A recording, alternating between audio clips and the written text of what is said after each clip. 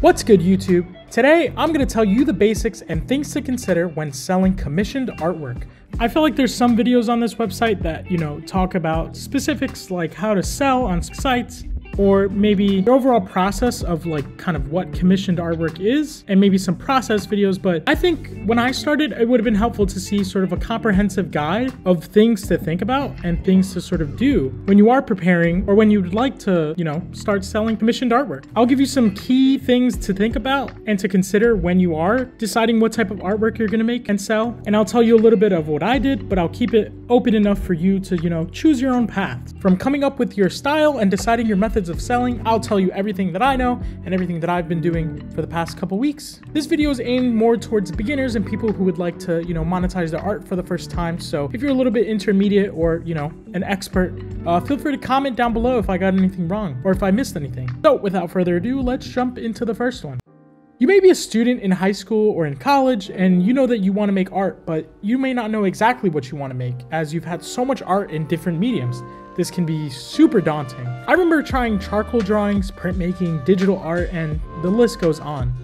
It wasn't until I was in a painting class where I had a revelation and I really enjoyed that medium. I found myself being able to paint for hours, enjoy it, and be decently good at it. So the first step is to decide that style and that skill that you want to sell. The thing with commissions is that you're relying on others to provide you with information to paint or draw or sculpt. You want to choose a style that's universal and that people would really want in their homes. For example, I chose pet portrait. A lot of people have pets and some people want to just have paintings of them in their homes. Other times people want paintings as gifts such as a housewarming gift or, you know, for Christmas. And at other times it can act as a memorial piece such as the one that I'm currently working on in this video. I would urge you to look online to see your competition and see how you can be unique in that style. Maybe you frame it in a certain way, or maybe you have a distinct, desirable compositional technique. So in short, make your stuff unique. I make my paintings in this traditional sort of old style, so that's sort of the niche that I've carved out. Point number two is that you should be realistic. Be able to create the work that you are promising to these people. There are two parts to this, ability and what you can manage or handle. You should advertise and promise products that you can deliver. I recommend creating a small portfolio of work to share before you sell any to be able to show people what you can create.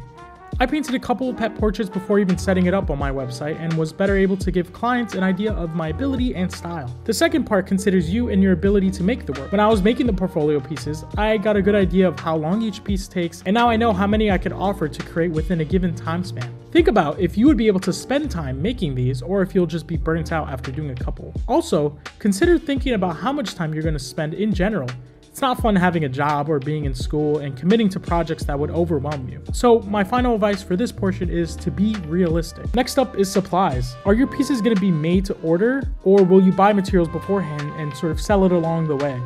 I'd recommend buying within your budget and maybe starting out with being made to order. I currently have some canvas stretcher bars for my paintings, but a lot of the sizes offered on my website are not in my studio, thus making me have to go to an art store if one does get ordered. If you know you will make the work using the materials eventually, it's not a bad idea to also buy it in bulk so you can score some sweet deals in art stores. Finally, the big question we have to talk about is marketing. How do we actually get orders? The first step is research. As I mentioned in my first point, you have to understand the market and demand that people have for these artworks. Maybe you're making religious artworks and you notice that your audience is a lot more older people and find that print flyers at churches is your best bet. Other times you might want to reach sort of a wider audience and find that people look for custom mugs on sites like Etsy do the research, see your competition, and get creative. Don't be afraid to steal some things from, from different people. I recommend making flyers to send digitally and to potentially print out. Look at this one that I made for my current commissions. Use the fundamentals of digital design and don't be tacky with your design. Have good distinguishable coloring, important keywords, images of what the work looks like, and the flyer in different formats to post on different sites. I've used social media and video reels uh, as a way to get out there. Physical flyers I've put up in different pet stores and vet offices um, although that can be a little bit difficult. And I've also have my own website. The number one source of work that I have found, however, has been word of mouth.